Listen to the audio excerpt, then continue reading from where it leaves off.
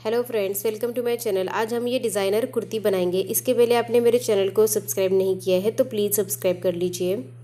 तो देखिए, मैंने यहाँ पे थ्री मीटर प्रिंटेड फैब्रिक लिया है और प्लेन फैब्रिक मैंने लिया है सिर्फ़ पाव मीटर सबसे पहले हम टॉप का पार्ट कट करेंगे तो इसके लिए मैंने फैब्रिक को फोर फोल्ड किया है।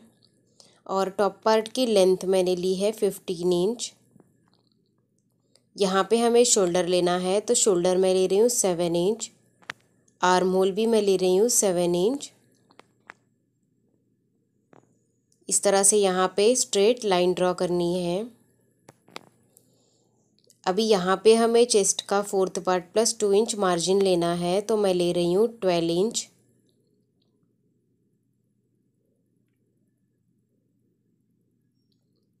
और यहाँ पे हमें कमर का fourth part plus two inch margin लेना है तो मैं ले रही हूँ टेन इंच। इन दोनों पॉइंट्स को जोड़ देंगे। यहाँ पर वन इंच ऊपर मार्क करना है और हल्का सा राउंड शेप दे देना है इस तरह से। अभी हम आर्म होल ड्रॉ करेंगे तो इस लाइन का हाफ़ लेना है। और यहाँ से हम आर्म होल का शेप देंगे। ये हमारा बैक का आर्मोल है और हाफ़ इंच अंदर से हम एक और आर्मोल ड्रॉ करेंगे। ये हमारा फ्रंट का आर्मोल है।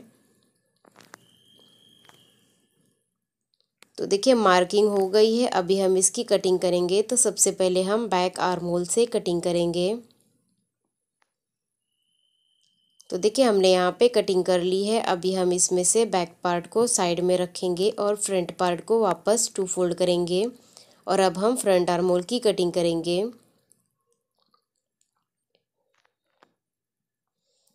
इस तरह से। अभी हम स्लीव की कटिंग करेंगे तो मैंने फैब्रिक को फोर फोल्ड कर लिया है। और ये फोर फोल्ड मैंने लिया है नाइन पॉइंट फाइव इंच का, जितना आपका आर्मोल है, उसमें दो से ढाई इंच ज़्यादा लेना है। और स्लीव की लेंथ मैं ले रही हूँ ट्वेल्व इंच यहाँ पे ओपन साइड से थ्री इंच पे मार्क करना है और यहाँ से हम स्लीव का शेप देंगे।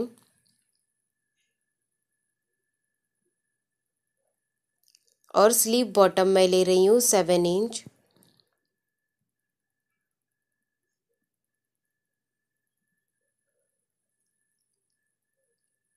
इन दोनों पॉइंट्स को जोड़ देंगे।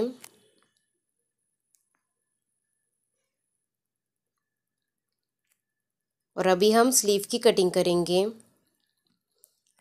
देखिए स्लीव की कटिंग करने के बाद में इसे ओपन कर लेना है और यहाँ पर हाफ़ इंच अंदर से मार्क करके फ्रंट स्लीव कट कर लेना है।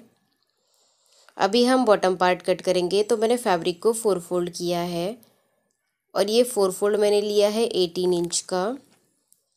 बॉटम पार्ट की लेंथ मैंने ली है थर्टी टू इंच अभी जो हमने टॉप पार्ट कट किया है, इसे हम यहाँ पर रखेंगे।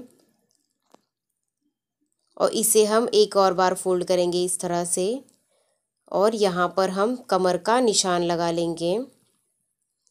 और हाफ़ इंच हम एक्स्ट्रा लेंगे मार्जिन। अभी हम देखेंगे कि ये हमारा कितना है। तो ये हमारा आ रहा है साढ़े पाँच इंच। तो दूसरी तरफ़ भी हम साढ़े पाँच इंच पे मार्क करेंगे। और अभी हम इन दोनों पॉइंट्स को जोड़ देंगे।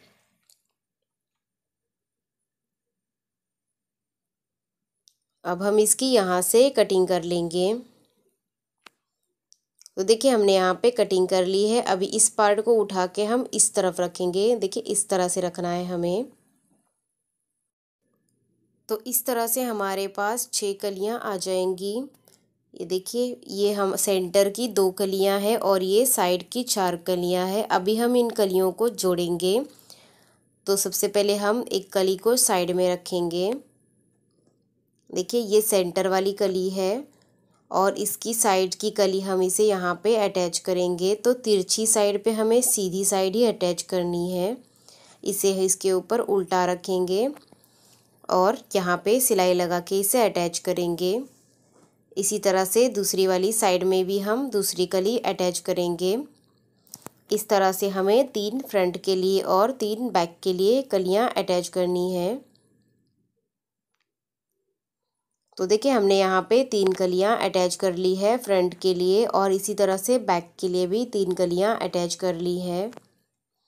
अभी नेक बनाने के लिए ये हमने फैब्रिक का पीस लिया है। इसकी लेंथ है फोर्टीन इंच और इसकी चौड़ाई है नाइन इंच इसे सेंटर से फोल्ड करना है। अभी यहाँ पर हम डेढ़ इंच पे मार्क करेंगे वन पॉइंट फाइव इंच पे मार्क करेंगे। पूरा नीचे तक हम वन पॉइंट फाइव इंच पे मार्क करते जाएँगे।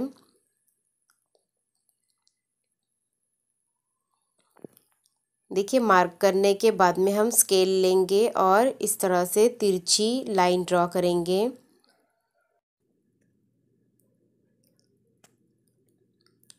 देखिए, इस तरह से हमें तिरछी लाइंस ड्रॉ कर लेनी है यहाँ पर।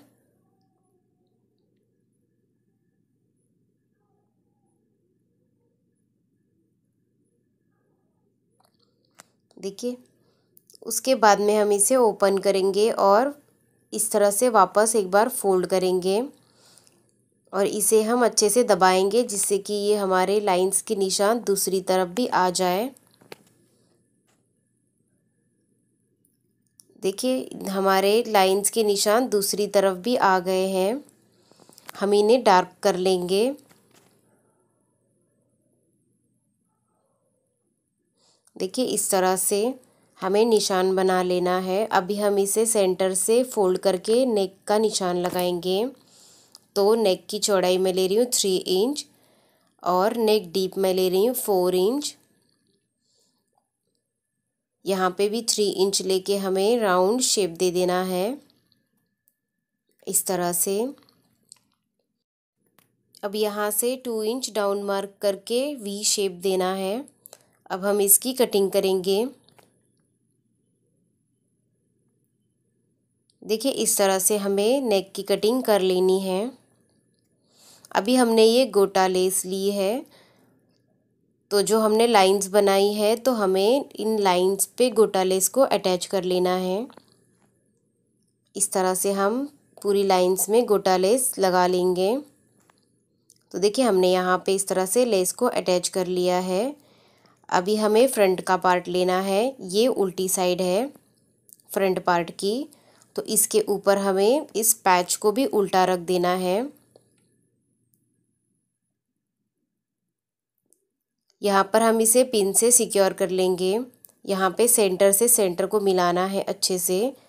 देखिए, उसके बाद में हम नेक के शेप में इस तरह से सिलाई लगा देंगे। देखिए, हमने सिलाई लगा दी है। अभी हम एक्स्ट्रा कपड़े को कट कर देंगे।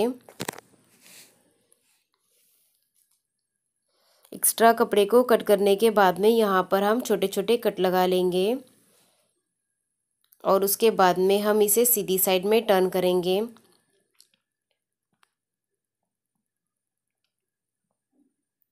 इस तरह से। देखिए टर्न करने के बाद में हम यहाँ पे टॉप स्टिच लगा लेंगे। यहाँ पर हम इसे पिन से सिक्योर कर लेंगे। उसके बाद में यहाँ से इसे हम हाफ़ इंच तक फोल्ड करते हुए पैच को अटैच कर लेंगे। इस तरह से। देखिए, हमने यहाँ पे इस तरह से पैच को अटैच कर लिया है। अभी देखिए, ये बैक का पार्ट है तो बैक नेक की कटिंग करेंगे। तो नेक विड्थ मैं ले रही हूँ थ्री इंच और नेक डीप मैं ले रही हूँ। Four inch. यहाँ पे राउंड शेप दे देंगे। और इसकी कटिंग कर लेंगे। तो देखिए, हमने कटिंग कर ली है, इसे ओपन कर लेना है। और इसके नेक के फिनिशिंग के लिए हमने इसी शेप की स्ट्रिप लेनी है। इसे हम इसके ऊपर उल्टा रख के नेक के शेप में सिलाई लगा देंगे। देखिए, हमने सिलाई लगा दी है। अभी हम यहाँ पे छोटे छोटे कट लगा लेंगे। और स्ट्रिप को रॉन्ग साइड में डबल फोल्ड करते हुए सिलाई लगा देंगे। इस तरह से बैक नेक बना लेना है। देखिए बैक नेक बना लिया है। अभी हम फ्रंट का पार्ट इसके ऊपर उल्टा रख के शोल्डर पे सिलाई लगा देंगे। अभी देखिए स्लीव के लिए हमने ये दो स्ट्रिप ली है और इसकी लेंथ ली है टू इंच तो अभी हमें स्केल से इन स्ट्रिप्स पे भी तिरछी लाइंस बना लेनी है।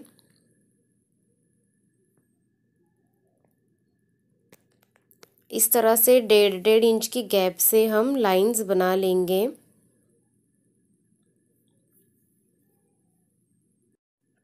इस तरह से दूसरी वाली स्ट्रिप पे भी हम लाइंस बनाएँगे। तो देखिए, लाइंस बनाने के बाद में हमें गोटा लेस लेनी है और इसे भी हमें यहाँ पे, जहाँ हमने निशान लगाया है, वहाँ पे अटैच कर लेना है। देखिए, हमने दोनों स्ट्रिप में गोटा लेस लगा ली है। अभी हम स्लीव लेंगे। तो ये स्लीव की सीधी साइड है। तो स्लीव को हम इसके ऊपर रखेंगे, स्ट्रिप के ऊपर। और यहाँ पे सिलाई लगा देंगे। देखिए, हमने सिलाई लगा दी है। अभी हम स्ट्रिप को सीधी साइड में टर्न करेंगे। उसके बाद में यहाँ पे टॉप स्टिच लगानी है और यहाँ पर इस स्ट्रिप को हम अंदर की तरफ़ फोल्ड करते हुए सिलाई लगा देंगे। इसी तरह से हमने दोनों स्लीव में लेस अटैच कर ली है। अभी हम शोल्डर पे स्लीव को अटैच करेंगे तो इसके लिए स्लीव को शोल्डर के ऊपर उल्टा रख के सिलाई लगा देंगे। इसी तरह से दोनों स्लीव अटैच कर लेंगे। देखिए हमने स्लीव को अटैच कर लिया है। अभी हम टॉप पार्ट को बॉटम पार्ट से अटैच करेंगे तो इसके लिए टॉप पार्ट को बॉटम पार्ट के ऊपर हम उल्टा रखेंगे और सिलाई लगा के इसे अटैच करेंगे। इसी तरह से बैक पार्ट भी अटैच करेंगे। देखिए, हमने टॉप और बॉटम को अटैच कर लिया है। अभी हम इसे उल्टा करेंगे और स्लीव से लेके बॉटम तक फिटिंग कर लेंगे और बॉटम में डबल फोल्ड करते हुए सिलाई लगा देंगे। Thank you for watching my video अगर आपको मेरा वीडियो अच्छा लगा हो तो वीडियो को लाइक ज़रूर करें और आप मेरे चैनल पर नए हैं तो सब्सक्राइब भी करें. Thank you